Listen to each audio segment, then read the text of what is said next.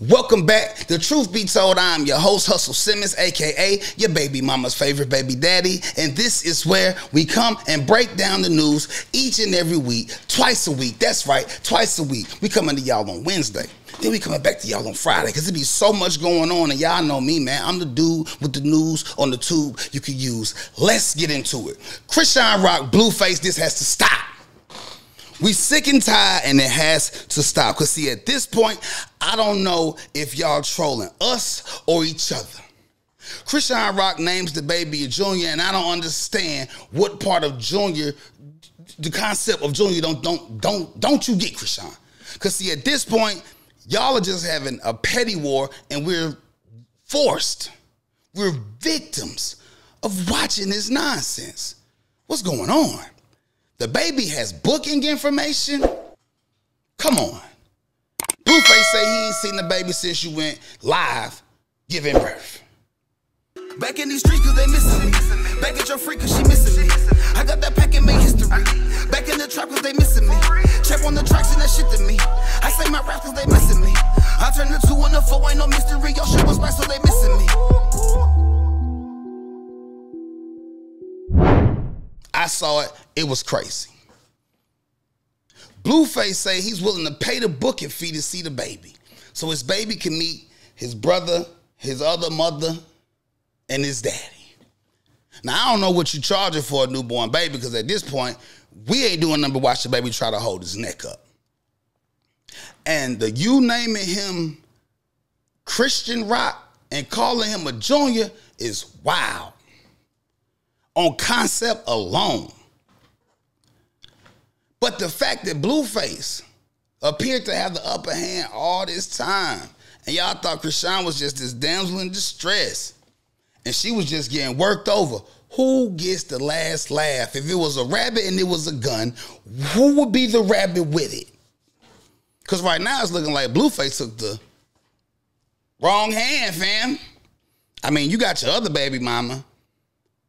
Chrisean to me looked better. She popped that tooth back in. Stop playing. Everybody going to get their whole joint done. We just need you to get one. Just pop that tooth back in. Boom, you bad.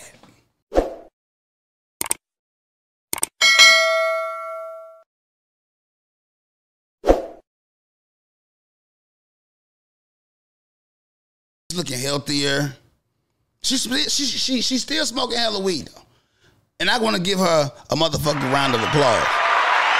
Because even though we call her smoking, we ain't catch her drinking. And we know that motherfucker is just as much as a drinker as a smoker. So, hey, Blueface, I hope you figure it out. Chrisean Rock, you need to get off that shit. But hey, I feel you. I got baby mama too, just like you. Because sometimes, fellas, we do what? Pick the wrong fucking hand. We got to learn to leave this relationship shit off the internet. But it's hard when clout is such a powerful drug. It's hard when it's so many sites and people who will buy personal and private information. And you know, they just doing their job. It's on you to be on your P's and Q's, especially when you're doing what we do and put ourselves out here. We put ourselves out here to be um, broke down, examined, cross examined, dissected. And I think it hurts the most when it comes from a family member or somebody you trusted. You know, like to hear your folks talk about you behind your back, or your mom, or your sister, or your cousin, or even one of your like best friends or close, close coworkers. Y'all know the segue coming, right? Let's talk about this Shirley Strawberry shit. Now, y'all may be familiar with her, and we're not gonna get too deep into the story because personally, honestly, I really don't give a fuck, um, per se. Uh, but yeah, Shirley was on the phone call with her husband in jail. Now let's let's put a pin in that. I didn't even know her husband was in jail. I figured she was married, but I didn't know her husband was in jail. We we on we got to dive a little deeper to figure out what Cuz in jail for, but that don't even fucking matter. What matters was she was on the phone call with Cuz. Talking to Cuz, you know, doing the regular thing. I feel like she was just trying to make Cuz feel like he wasn't missing the beat. He was in the know. He was up to speed. Well, someone took it upon themselves to record the conversation. Now we already know this ain't like back in the day. You ain't on no jail phone. Niggas got smartphones and the whole little shit. You know, and he probably taking he probably he probably he probably the man in there. He probably the man. Yeah, like the chick read the strawberry letters, that's that's me. Somehow the conversation gets recorded where Shirley's telling him all kind of, you know, I wouldn't even say too personal, but it was about Steve Harvey and, and his wife Margie. Now, we all know Steve Harvey going through a thing right now where his wife was cheating on him um, with the bodyguard and the driver on some Tasha from Power shit. Cheating with the fucking driver. How you how you fucking the nigga? How you fuck in a truck I bought with my bucks is the real question. But we gonna get to that later. Shirley's recorded saying all kind of shit, you know, shit like Steve got all these stairs, big ass house, but the house so big he out of breath when he walking up and down the steps. He she also goes on to say that if Margie would have been there, they probably wouldn't have been able to walk through the fucking house, let alone come in. She kind of hinted to the fact that I'd known this nigga all this time and had never been to his house until he's going through what he's going through. And, you know, went on to say shit like Margie looks at them as the help or her as the help. You know, how she got a sauna and a massage parlor and the whole little shit in the crib. That's crazy. What's even crazier is the nigga recorded the conversation. And you could tell he was kind of probing. But it sounded just like conversation. Me and my girl had these talks all the time where she telling and I'm, you know, I'm fake listening, like for real. Damn, that's crazy. And then what happened? Wow, wow, like that. Wow, that's my thing. That's all of our thing. But he was recording the conversation. I had someone recording the conversation. I'm pretty sure he sold it to a tabloid or to some publication. Because um, Steve Harvey is a hot topic right now, especially with the wife um, being disloyal, so forth and so on. So to hear, you know, his wife, Shirley, saying things like Steve intimidated, Steve scared of his wife, um, you know who run this shit. Um, you know, he out of breath. Like the nigga, you know, this even made. Like, I wish I had it. Somebody coming here to work me out just coming over here just to work me. They coming to work. You know, and you know what's crazy because you know that he she got caught cheating with. And you gonna really do the work me out analogy? That's crazy, Shirley. Wow. Dead ass. But let me ask y'all a question. When does pillow talking go too far? Are there rules and regulations to pillow talking? Is there is there a certain code to pillow talking? Because your spouse is supposed to be that comfort zone, that safe zone, that let your hair down. If you got something on your mind, say it with your chest to the person that you know the best. But when when when when does pillow talking go? Was Shirley wrong for pillow talking with this nigga? Or was he just on some hoe shit? Now I know the comments gonna say he was on some hoe shit, cause he was. But I mean this nigga in jail. And and shout out to all my niggas locked down and free the guys. But nine times out of ten, jail full of a lot of bad people and you saying you don't know what he's locked up for, and, and this not the man you married, so therefore you don't know this guy at this point. And that's crazy to talk about Steve business when it seemed like everybody turned it on Steve. His wife, the bodyguard, the driver, not his best friend and co-worker for all these years. That's wow. But you gotta watch yourself. And you gotta watch how you move and you gotta watch the things you do. Cause this shit is crazy out here. And you never know who you can trust. You know, we want to we want to be able to trust people. We want to be able to um, believe that we can have conversations and do things in, in confidentiality. But sad case, truth be told, we're not living in a world like that no more. Because if it's not somebody that's trying to profit off of it or get clicks and likes off of it, um, your own like people own friends will record them falling and hurting themselves and you know missing the jump on a diving board and almost breaking their fucking neck just to post it on their Instagram or they or their Snapchat first. People watch people get hurt every day and record it. People watch tragedies and shit going on and record it. Motherfucker be on fire and that shit to be viral because somebody instead of throwing water on them, you picked your phone up. So we need to learn to put the fucking phone down when we dealing with other people and sometimes with ourselves. The most recent need to put the phone fucking down award goes to, you guessed it, my nigga Raz-B. Give this nigga a round of applause. Give him a round of applause for being the wildest nigga to ever be in a boy band, period. I don't know who more fried, Raz-B or Orlando Brown. Now, see, I would say Orlando Brown because the shit he say, but I gotta give the award to Raz-B for the shit could do. And it always be some zesty, spicy, hot taki shit. The world's spiciest tortilla shit. Ghost pepper, shit, the spiciest of spicy. I don't get you, Raz-B. And at this point, I'm not really even trying to. I'm just trying to figure out what the fuck made you think that the world or the internet wanted to see you doing your your one two step and your black Spider Man thong. Speedo. You must have thought you was in the MC Hammer Pumps and the Bumps video. First of all, it's like you was in a college dorm. You know what I mean? And y'all remember what I said about people trying to record people going viral? The only thing that's ranked higher than that is people recording themselves looking for a viral moment. I mean, look at me right now. Hey, hopefully one of these clips go viral. But I'm not doing no dumb shit for it. Raz, I don't know if this is a cry for help. And you know what's even crazier though? I just I just I just thought about it. When Britney Spears got on the internet and did her little dance, the world went into a frenzy. Raz be doing the shit go viral, niggas. All y'all, all we, all even me, all we talk about is zesty spicy. We ain't really cry. This this this might be a cry for help, for real. Cause at this point, I don't know if these dudes are trolling or are these dudes being dead serious with the shit they doing and how they moving.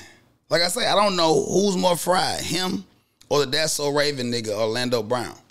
And is it something with childhood stars? Because a lot of childhood stars do grow up and be flipped the fuck out. Be zany and cockamamie in the motherfucker. And a lot of times we do judge them based on the time we knew in a, in, a, in, a, in a time mental time capsule that we remember them from. I think we hold them to that standard. And I think it drives a lot of them crazy when you're used to something so early and now it's gone. I think at that point you're trying to do anything to get their attention, to get those likes, to get their admiration, good or bad, good or bad. I don't I don't think that they really, you know, it's just like when they draft players into the league and shit. They need financial coaching. They need money management. Um, they need to know about taxes and shit because they're not taught that. I think they need a deceleration course for these kids, stars. Now, unless you like a Justin Timberlake or Usher, Michael Jackson type, Chris Brown, it's, it's very few people that can transition from childhood stars to adulthood stars. And I think if you have a rough transition or you don't transition or you get stuck in the middle, that's when motherfuckers start losing their mind. So, yeah, I'm gonna pop my shit and I'm gonna, I'm gonna tell my jokes and you know what I'm saying. But at the end of the day, um, Raz B got to be crying out for help. Now, will he accept the help? I don't know. Is he trying to make sure he get renewed on the um, bad boy shit? Maybe so. Because it seems like to be in that type of media and that type of spotlight, be on them shows like that, loving hip hop and all that shit, you got to be doing some real demeaning bullshit. You know what I'm saying? Salute to us and everybody that fuck with us, man. Cause that's one thing we pride ourselves on. That's what we don't do. That's what we not doing. That's what will not happen here. We gonna always pick the right hand with that. You dig what I'm saying? So yeah, um, prayers to that young man. You know what I'm saying? And we ain't gonna judge him. That's what we not gonna do. We not gonna judge Raz B because, like I say, Cub might be crying out for help in a whole different type of way. You dig what I'm saying? Um, we not gonna judge him, but we are gonna talk about the judge that was not buying that shit that old boy was doing in the YSL case. Who am I talking about? Well, YSL Polo. You know, the young man that was videotaped, went viral in the courtroom, pop locking and nigga was tetting, rolling his and all that crazy shit. Yeah. Well, the judge wasn't buying it. And see, as soon as I saw it, I said, bro, I'm gonna tell y'all something. As soon as I saw it, I said, bro, is trying to plead insanity. He trying to act like he out his fucking mind. It was a genius play though. Genius plot. I can't lie. I had a homie um that actually got out on some acting crazy shit, man. You know what I'm saying? On the same shit. I think he like double, maybe triple murder. So it would work, but you gotta go more insane than that. That wasn't crazy enough. See, my partner was in there smearing shit on the wall, eating shit. You know, he coming there, the guards coming there. This nigga just sitting there eating, just eating shit. He he drawing pictures on the wall with shit. You got to go balls to the wall, El Pollo Loco, if you gonna play the insanity card. And let's not forget you was part of a worldwide famous rap crew. You was Young Thug, man. Nigga, you know how many videos they got of your ass not acting crazy? Stupid ass dude. So you come in that bitch like you just hearing a song in your head and you just gotta fucking dance, huh? And you, I mean, what did you think that was gonna do? The judge sentenced your stupid ass guilty. The jury, I'm sorry, the jury, you guilty, nigga. And the thing is so crazy, you would have had to been doing that since day one. Since day one. For real, for real, when they came to get you, you should have been doing that. You turn yourself in, your mama should have had you by your shirt, drag you in that motherfucker, and you should have been doing that. You wait till right before the, the, the sentencing to try to go crazy. Nigga, you was a fucking nut. You did, you did, you was a fucking nut. And it didn't work. And now, my only question is, where does this leave Thug, though? Because we got over 20 people saying it is a gang. Okay. Now, YSL Polo is convicted of murder under the name YSL Polo that they've already confirmed was a gang. I don't know how um, optimistic y'all are, but it might be case closed for Thugger Thug.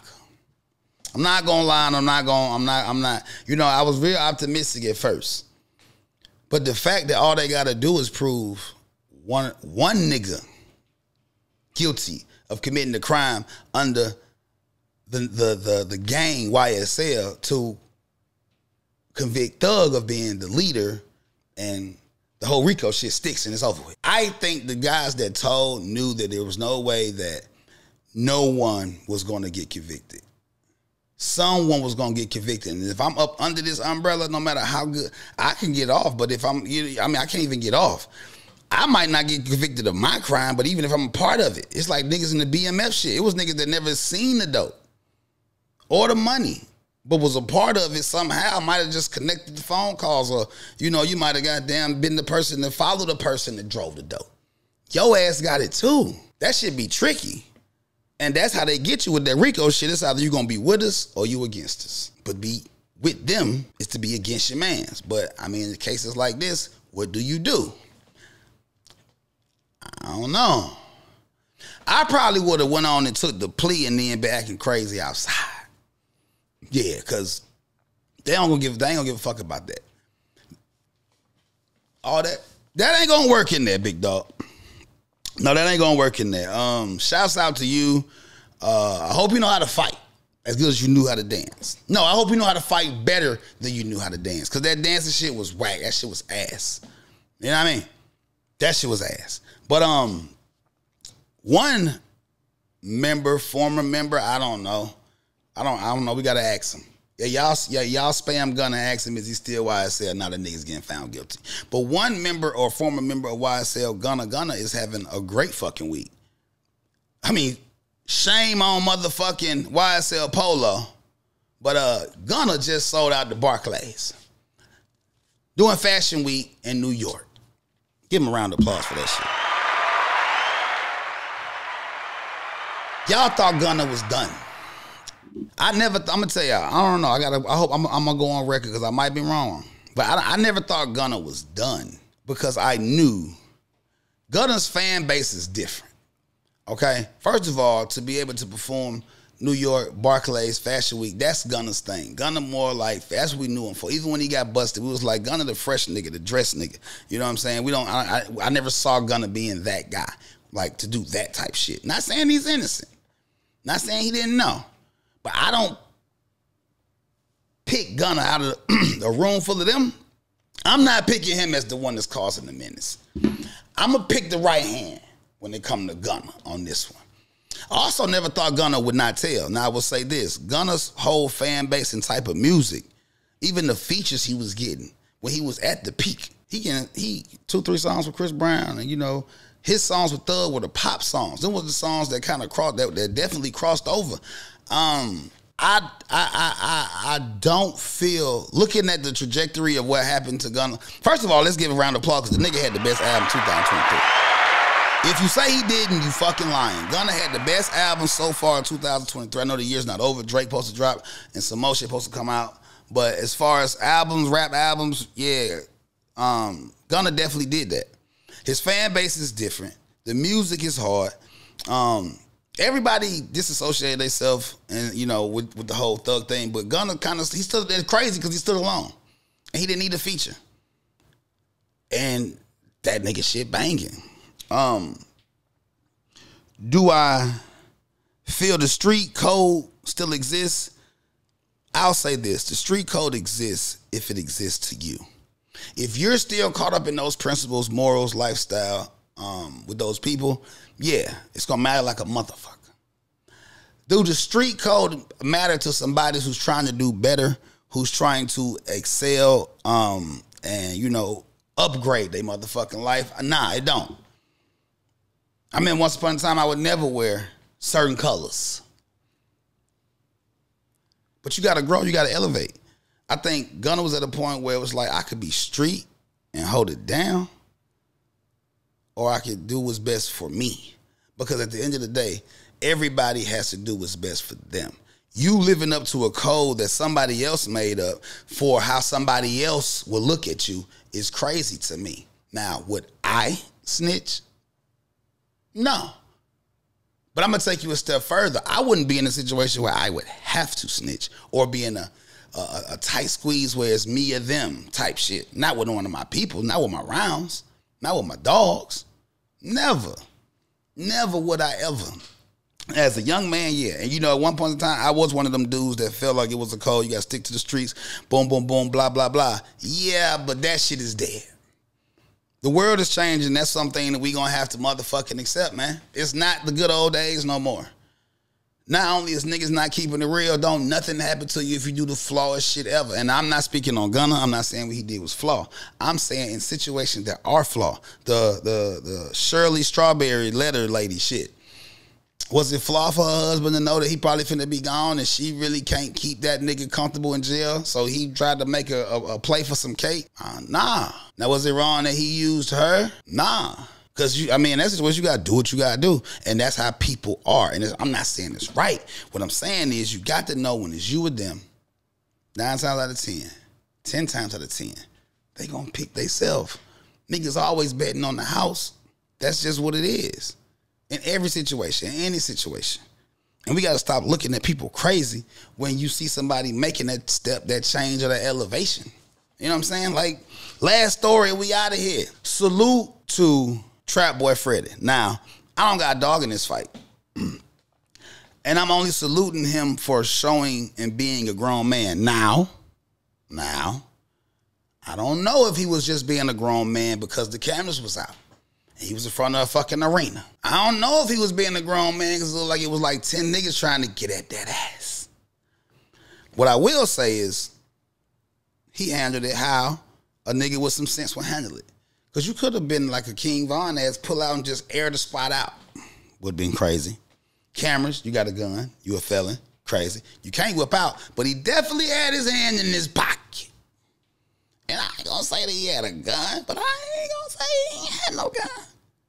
But allegedly, it looked like he had a gun. But the crazy part about that is the caption was, look at this nigga running, pussy ass nigga running. He running. First of all, he wasn't running. He was walking at a brisk pace. He was he was he was walking a little brisk, but he was walking. Y'all make it seem like the nigga in a full fledged Usain Bolt out this motherfucker. But what he supposed to do? Air the spot out. Probably don't hit none of y'all. Hit two other people. Kill somebody. Or worse, don't hit nobody. Whip out. Don't even fire. Get caught on camera with the burner, and now you gone. Even had to pull the trigger and you gone. Niggas gotta stop getting tricked out they spot. So salute to that nigga, man. That's how you know a real street nigga, man. I ain't gonna pull this bitch out unless I'ma bang it. You dig what I'm saying? But I can't really bang it because your man behind you got the fucking camera rolling like y'all waiting on me to say cheese. Fuck out of here. You know what I mean? We got to grow up, man. You got to elevate. Now, one thing I will say, same with Trap Boy Freddy, same with Gunna. You do have to, in a sense, pay for past sins depending on the intensity of it. Now, for those who don't know, Trap Boy Freddy was also pressed by Mo3 people. And you know, allegedly, Trap Boy Freddy allegedly had something to do with it. I don't fucking know. It's not my business. Um, that's something that even if you on your best behavior, you might have to answer for if you run into the right people at the right time. Um, it looked like he was going to a show, but it was, he was also walking in the front. I don't know. I really don't know. I do know that that came back around and that was a pivotal moment. That was a perfect pivot. Truth be told, that was the perfect pivot of him going from the the the, the street nigga to the rap nigga. Cause right after that, the nigga did three fucking shows, sold, sold out arena type shit. Got to love it though.